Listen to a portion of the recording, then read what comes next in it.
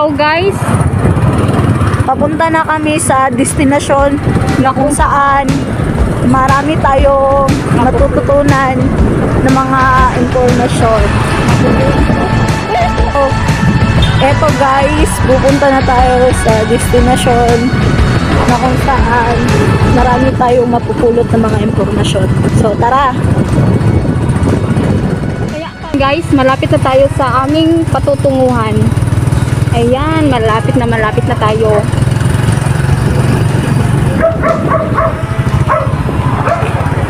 Ayan, nandito na tayo. At nakita natin si Father. Ayun si Father. Father, hi Father. Naglalakad. Oo. Sir, pwede po bang tanungin lang namin kayo, sir? Oo. Kung sino po ba ang pinakaunang first ang nag-sermon dito? Si Father Hernan Sisi. Sino po, sir? Father Hernan Sisi. Sir Father Hernandez. Kailan niya nagsimula, sir? 1940. 1940. Po, sir. At sino po ba ang nag... Sino po ba ang founder o kaya yung mga government na nagtulong dito? Sa private man yun. Sa private dito. Private po, private. sir. Okay sir, thank you sa ano, nag-gather namin Kunya, na. ma, mas mapan mo niya ha. Opo, opo. Sila mo kitang paunagod.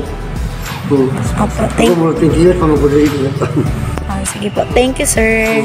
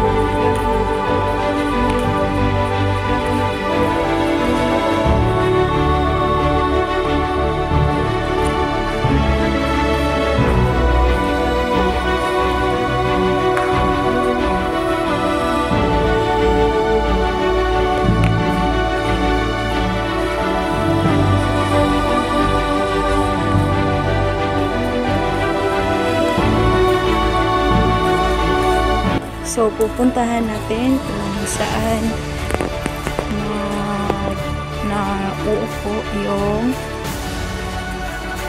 yung mga awit ng simbahan.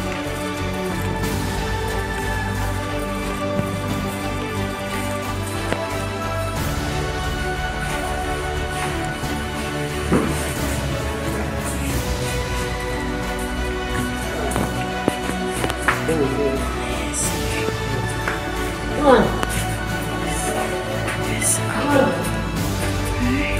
ayun guys. Buhay! First time ever.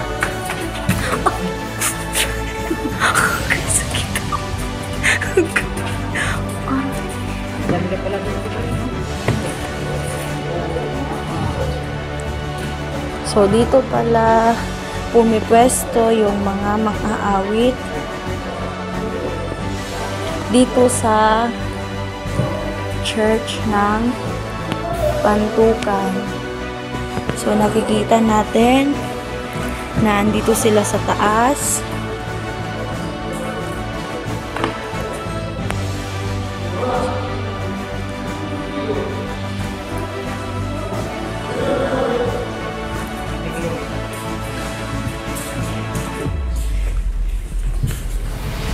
At dito naman yung organ o yung instrumento na ginagamit sa pagtutugtog.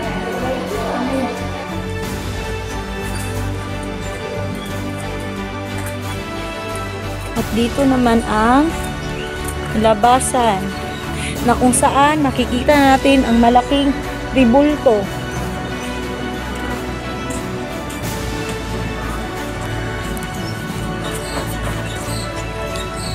Dito yung front ng simbahan. So, pupunta kayo dito, ito yung makikita natin na na sa pag sa pag pasok natin.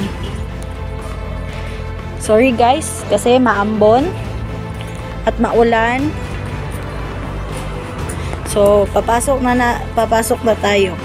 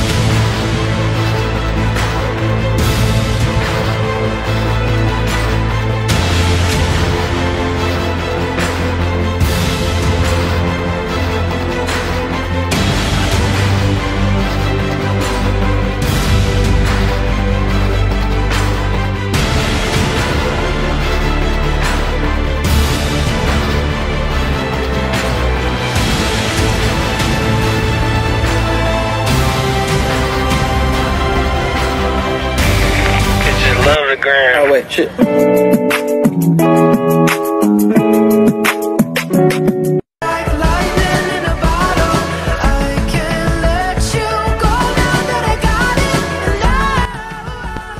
Abigail C. Canyon. Hello guys, my name is Arlene Belinda Morning everyone, my name is Steven from the usual page from Lumpat to Pineapple. Thank everyone, my name is Jen Giselle Pedero. My name is Rimuel B. Hi everyone, I'm Rosemary Fido from BSBA MM1 Block 3. Hi! Ako nga pala si Younger Leon Agula